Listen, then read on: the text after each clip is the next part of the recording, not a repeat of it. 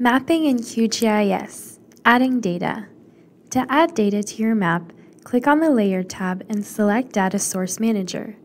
You can also access this function by clicking the Open Data Source Manager icon in the toolbar. On the left, you will see all the options for the different data formats you can add. Select the tab of your corresponding data format. Under Source, select the Browse icon and locate your file. Select Open. Add. Click on Close. Your data has now been added. For more information on QGIS, visit the UTM Library QGIS playlist.